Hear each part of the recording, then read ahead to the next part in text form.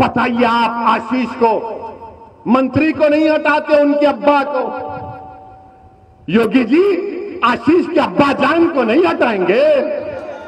क्या तुम ही बोल सकते अब्बा जान, हम हमारी मुँह में जबान नहीं है? क्या नरेंद्र मोदी आशीष के अब्बा जान को नहीं हटाएँगे आप? मोदी जी, क्यों नहीं हटाएँगे अब्बा जान को? आप हटाना चाहिए ना अब्बा जान को। आप तो बोलते हैं कि मैं कोई चीज़ को गलती को बर्दाश्त नहीं करता।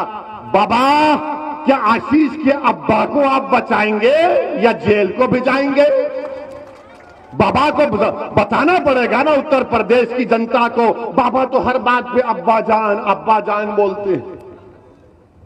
अब्बा अब ये अब्बा जान मंत्री बनकर बैठे देश की सुरक्षा के मंत्री हैं। उनका बेटा गाड़ी से किसानों को मार दिया अब ये समझ में आया आपको नहीं आया मुझे बताइए, कि अब्बा जान का नाम अजय मिश्रा है, बेटे का नाम आशीष है, अतीक नहीं है। अगर बेटे का नाम अतीक होता या आरिफ अनवर हाशमी होता तो अब तक जेल में चले जाते, कितने घर तोड़ दिए जाते। कितने घर तोड़ दिए जाते अब तक। मगर ये बता रहा हूँ, ये फ़र्क है। अब जब हम इसको बयान करते हैं तो मुझे मालूम कि आज शाम में छह बजे से रात के बारह बजे तक असदुद्दीन ओवैसी के नाम पर सब लोग शादी करेंगे अपनी अपनी टीवी पर।